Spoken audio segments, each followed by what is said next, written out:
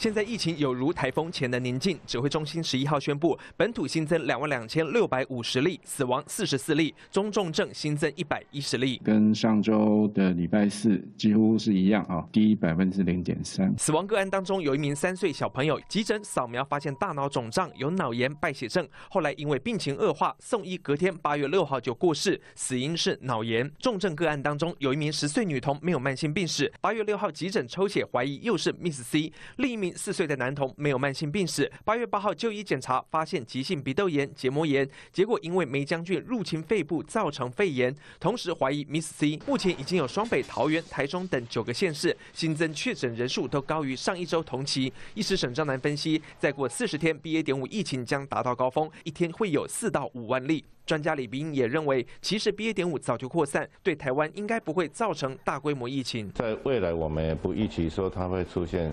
大规模的爆发性的流行，低推估也有高推估，希望是走这个比较低的推估。医师黄轩担心，台湾目前处于新冠疲惫时期，出门的人越来越多，安全距离越来越短。指挥中心提出戴口罩的四个 NG 行为，包含口罩使用不超过一天，不可以反戴口罩。RT 值只要是小于一，大概就代表会慢慢减少。这段时间就是要维持住，包括边界的防疫。现在六个月到四岁接种率只有百分之十五，抗体覆盖率只有百分之。四十四等于超过一半的幼儿没有抗体，小朋友把疫苗打好，才能够避免成为 BA. 点五病毒下的牺牲者。记者林正坚、王一仲台北报道。